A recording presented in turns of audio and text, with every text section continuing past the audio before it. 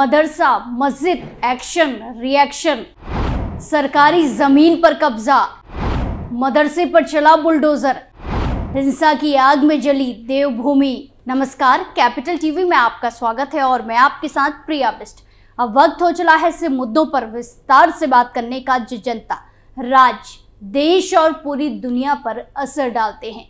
कट्टरपंथियों ने देश के कई राज्यों को अपनी हिंसा का शिकार बनाया है। लगातार कोई ना कोई राज्य से बवाल की खबरें सामने आती हैं। वहीं अब देवभूमि कहे जाने वाले उत्तराखंड को भी इन कट्टरपंथियों ने नहीं छोड़ा, जहाँ से खतरनाक हिंसा की खबर सामने आई है।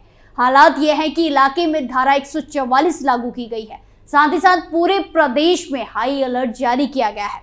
तो आज बात होगी कब, क्यों और कैसे शुरू हुआ हल्द्वानी में बवाल। क्या है उस मदरसे और मस्जिद की कहानी जिन पर चला बुलडोजर? तो चलिए शुरू करते हैं।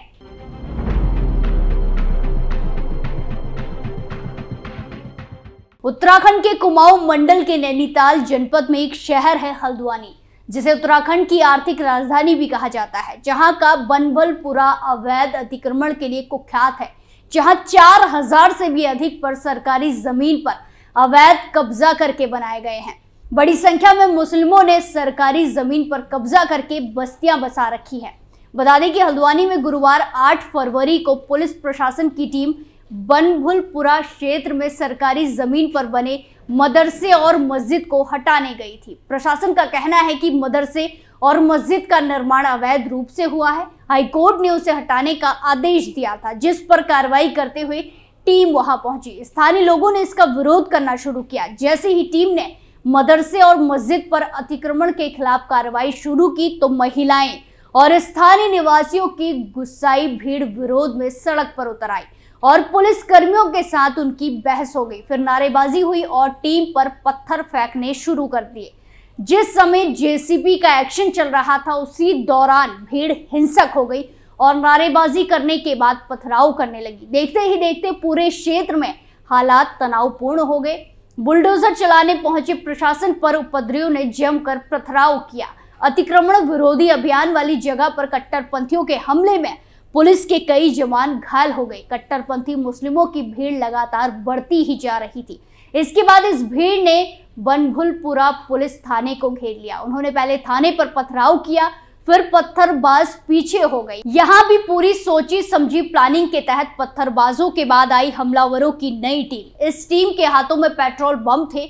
उन्होंने पुलिस थाने के बाहर खड़ी गाड़ियों को आग के हवाले करना शुरू कर दिया। आसपास से पुलिस ने आक्रोशित लोगों को शांत कराने के लिए आँसू गैस के गोले दागे। लाठीचार्ज किया तो बवाल और बढ़ गया। इसके बाद रामनगर से अतिरिक्त फोर्स बुलाई गई और बनभुलपुरा थाने पहुँचने के बाद पुलिस ने फिर मोर्चा संभाल लिया।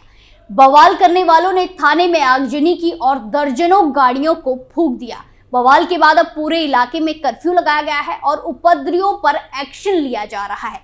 प्रशासन और सरकार दावा कर रही है कि हाईकोर्ट के आदेश के बाद ही अतिक्रमण को हटाने का काम किया गया था। इसी बीच मुख्यमंत्री पुष्कर सिंह धामी ने मामले की गंभीरता को देखते हुए राजधानी देहरादून में हाई लेवल मीटिंग बुलाई, बैठक बुलाई और हालात की समीक्षा ली। इस बैठक में तय किया गया कि दंगाइयों को देखते ही गोली मार दी जाए। उन्होंने अराजक तत्वों से सख्ती से निपटने के लिए अधिकारियों को दिशा निर्देश दिए। देहरादून में अपने आधिकारिक आवास पर मुख्यमंत्री ने मुख्य सचिव राधा रतूड़ी पुलिस महानिदेशक अभिनव कुमार और अन्य उच्च अधिकारियों के साथ बैठक के बाद उन्हें स्थानीय लोगों से शांति बनाए रखने की अपील की है। मुख्यमंत्री ने आगे कहा कि इस घटना के दोषियों के खिलाफ सख्त कार्यवाही कर क्षेत्र में शांति व्यवस्था सुनिश्चित की जाए। उन्होंने स्पष्ट निर्देश दिया कि प्रदेश में किसी को भी कानून व्यवस्था से खिलवाड़ करने की छूट नहीं दी जानी चाहिए। वहीं आपको बता दें कि भीड़ द्वारा की गई हिंसा में 300 से अधिक लोग घायल हुए हैं। मुस्लिम कह रहे हैं कि पुलिस मदरसे और मस्जिद को तोड़ने आई थी, जबकि प्रशासन का कहना है कि वो जो संरचना है, वो धार्मिक संरचनाओं के रूप में रजिस्टर्ड नहीं है। इतना ही नहीं, थाने को ही फूका नहीं गया। इतना ही नहीं, बल्कि एक पेट्रोल पंप को भी फूक दिया गया। बताया जा रहा है कि पुलिस प्रशासन ने कार्रवाई से पहले हवाई सर्वे नहीं कराया और प्रकरण को हल्के में लिया। उधर सोशल मीडिया में इस्लामी कट्टरपंथियों का साथ देने वाले उल्टे हिंसा, भीड़ का ही बचाव कर रहे हैं। वहीं हल्द्वानी में भड़की हिंसा के बाद प्रशासनिक अधिकारी मौके पर पहुँचे। हल्द्वानी डीएम वंदना सिंह भी मौके पर पहुँची। उन्होंने इस घटना के तमाम पहलुओं को विस्तार से सामने रखा है। उन्होंने साफ़ किया कि उपद्रवियों ने प्रशासन की टीम को निशाना बनाया। ये लोग प्रशासनिक अधिकारियों को जलाकर मारना चाहते थे। वंदना सिंह ने स्पष्ट तौर पर कहा कि यह हमला कानून व्यवस्था की स्थिति पर हमला है। डीएम वंदना ने आगे बताया कि हाई कोर्ट ने हल्द्वानी में अवैध निर्माणों को हटाने के निर्देश दिए थे। ये मदरसा और मस्जिद बनभुलपुरा क्षेत्र में तीन एकड़ ज़मीन पर अवैध तरीके से बनाया गया है। प्रशासन ने बताया कि 30 जनवरी को नगर निगम ने इसे डहाने का नोटिस दिया था, गिराने का नोटिस दिया था और ज़मीन को नगर निगम ने पहले ही अपने कब्जे में लेकर इसको सील कर दिया है। उन्होंने बताया कि हल्द्वानी में हुई हिंसा प्लानिंग के तहत हुई थी। पुलिस की टीम पर हमले के लिए पहले से ही पत्थर रखे गए थे। पुलिस कर्मियों को ज़िंदा जलाने की कोशिश भी गई। हिंसक भीड़ में महिलाएँ भी शामिल थी। हिंसा की वजह से शहर में कर्फ्यू लगा दिया गया है और चप्पे चप्पे पर पुलिस की तैनाती भी की गई है। वहीं आपको बता दें कि बनभुलपुरा में सबसे ज़्यादा नुकसान थाने के आसपास हुआ है। इस्लामिक कट्टरपंथियों की भीड़ ये कोशिश कर रही थी कि ये आग जल्द ही पूरे हल्द्वानी में फैल जाए। बनभुलपुरा थाने को नष्ट करने के बाद ये भीड़ गांधीनगर इलाके की ओर बढ़ी। गांधीनगर में मिश्रित आबादी है। किसी एक समुदाय का बहुमत नहीं है। ऐसे में प्रशासन और गांधीनगर को आतंकित करने के लिए ये भीड़ उधर की तरफ़ बढ़ी। हालाँकि तब तक बाहर से सुरक्षा बल पहुँच गए। पीएसी के साथ ही अन्य केंद्र सुरक्षा बलों के जवान पहुँच गए थे। उन्होंने बड़ी मुश्किल से गांधीनगर में हिंसा होने से रोकी। हालाँकि गांधीनगर को पूरी तरह से दहशत में डाल दिया गया था। इस दौरान बनबुलपुरा से लेकर गांधीनगर तक भारी मात्रा में सुरक्षा बलों ने मोर्चा संभाला और किसी तरह से इस हिंसा को हल्द्वानी के मुख्य शहर में पहुँचने से रोक लिया। वहीं आपको बता दें कि पूरा घटनाक्रम उसी पैटर्न को दोहरा रहा है, जिसके तहत देश की राजधानी दिल्ली को काफ़ी समय तक आतंकित करके रखा गया था। नैनीताल की डीएम वंदना सिंह के बयानों से स्पष्ट होता है कि इस बनबुलपुरा में पूरी प्लानिंग करके ही हमला किया गया था। उनके बयानों को गंभीरता से सुने तो आखिर में वो बोलती है कि थाने पर हमले के बाद ये भीड़ गांधीनगर को घेर चुकी थी। इसके बाद कट्टरपंथी हमलों की इस भीड़ ने हल्द्वानी में हाहाकार मचाने के लिए आग बढ़ाने की कोशिश की। लेकिन प्रशासनिक सक्रियता के चलते ऐसा ना हो सका, जबकि दिल्ली में ये हिंसा उत्तर पूर्वी दिल्ली में फैल गई थी। वहीं डीएम ने आगे बताया कि हल्द्वानी में न्यायालय के आदेश के बाद कुछ और जगह भी अतिक्रमण हटाने की कार्रवाई की गई है। राज्य सरकार ने इसके लिए टास्क फोर्स भी गठित कर रखी है।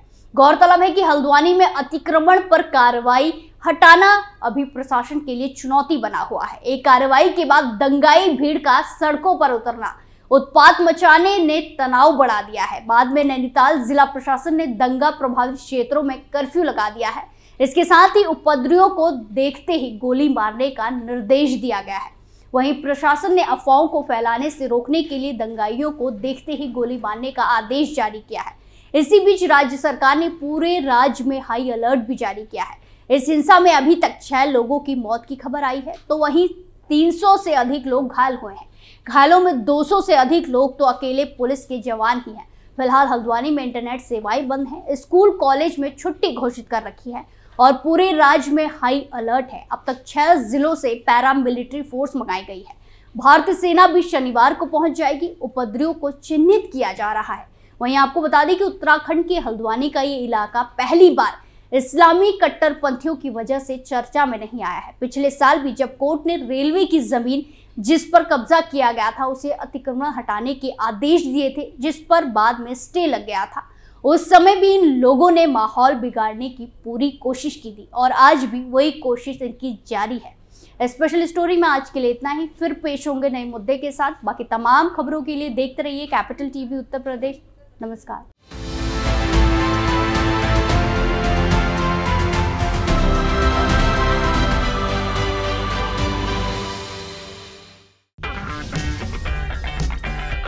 अगर आपको हमारा वीडियो पसंद आया हो तो इसे लाइक करें, हमारे चैनल को सब्सक्राइब करें, और हाँ बेल आइकन दबाना ना भूलें, ताकि आप तक हमारे वीडियो की नोटिफिकेशन पहुँचती रहे।